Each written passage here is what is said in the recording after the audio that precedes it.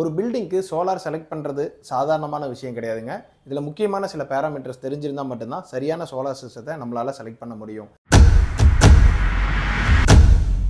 அப்படி முக்கியமான சில விஷயங்களில் நாலு ஃபேக்டரை இப்போ நான் ஷேர் பண்ண போகிறேன் இந்த வீடியோவோட எண்டில் ஒரு போனஸ் பாயிண்ட் இருக்குது ஃபஸ்ட்டு விஷயம் எனர்ஜி நீட்ஸ் அதாவது நம்ம வீட்டுக்கு எவ்வளோ சோலார் சிஸ்டம் பண்ணணும் அப்படின்றதுக்காக எவ்வளோ பவர் கன்சியூம் பண்ணுறோம் அப்படின்றத நம்ம தெரிஞ்சிருக்கணும். ஸோ எவ்வளோ கன்சியூம் பண்ணுறோம்னு தெரிஞ்சால் மட்டும்தான் சரியான சோலார் சிஸ்டத்தை நம்ம இன்ஸ்டால் பண்ண முடியும். அப்படி இல்லைன்னா அளவுக்கு அதிகமாக சோலார் சிஸ்டம் இன்ஸ்டால் பண்ணுறது மூலமாக உங்களோட இன்வெஸ்ட்மெண்ட் அதிகமாகும்.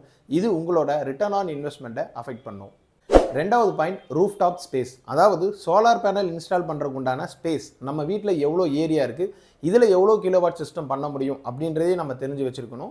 அதுவும் இல்லாமல் எந்த அளவுக்கு டிகிரி இதுக்கு வந்து நம்ம ஸ்லோப் கொடுக்கணும் அப்படின்றதையும் ஒரு நல்ல சோலார் சிஸ்டம் கம்பெனியை டிஸ்கஸ் பண்ணி தெரிஞ்சு வச்சுக்கிட்டால் மட்டும்தான் சரியான அவுட்புட்டை நம்மளால் மேக்ஸிமம் அதிலிருந்து கெயின் பண்ண முடியும். தேர்ட் பாயிண்ட் ஸ்கீம்ஸ் அதாவது இன்றைக்கி கவர்மெண்ட்டில் என்னென்ன ஸ்கீம்ஸ் கொடுத்துட்ருக்காங்க ஃப்யூச்சரில் என்னெல்லாம் இதில் பெனிஃபிட்ஸ் வரப்போகுது இன்றைக்கி லோக்கல் கவர்மெண்ட்டு டிஸ்ட்ரிபியூஷன்ஸ் அதாவது டான்ஜெட்கோ தமிழ்நாட்டில் எடுத்துக்கிட்டிங்கன்னா டான்ஜெட்கோ இதில் சோலாருக்கு என்ன ரெகுலேஷன்ஸ் இருக்குது பாலிசிஸ் இருக்குது அப்படின்றதையும் ஓரளவுக்காவது நம்ம தெரிஞ்சுக்கிட்டால் மட்டும்தான் சரியான ஒரு சோலார் சிஸ்டத்தை பண்ண முடியும். அப்படி இல்லைன்னா பாலிசிஸ் எதுவுமே தெரியாமல் ஒரு பிளண்டியாக ஒரு சிஸ்டம்குள்ளே நம்ம இறங்குறது பார்த்துட்டிங்கன்னா ஒரு ரிஸ்க் தான். ஃபோர்த் பாயிண்ட் நமக்கு ஆன்கிரிட் சிஸ்டம் தேவையா ஆஃப் கிரிட் சிஸ்டம் தேவையா? அதாவது பேட்டரி வச்சு சோலார் பண்ண போகிறோமா பேட்டரி இல்லாமல் சோலார் பண்ண போகிறோமா அப்படின்றதே தெரிஞ்சிருக்கணும். உதாரணத்துக்கு உங்கள் ஏரியாவில் அடிக்கடி பவர் கட் வந்துக்கிட்டு இருக்குது லோ வோல்டேஜ் கம்ப்ளைண்ட் வந்துகிட்டு இருக்குது அப்படின்னா நீங்கள் அங்கே ஆஃப் கிரிட் போய்க்கலாம்.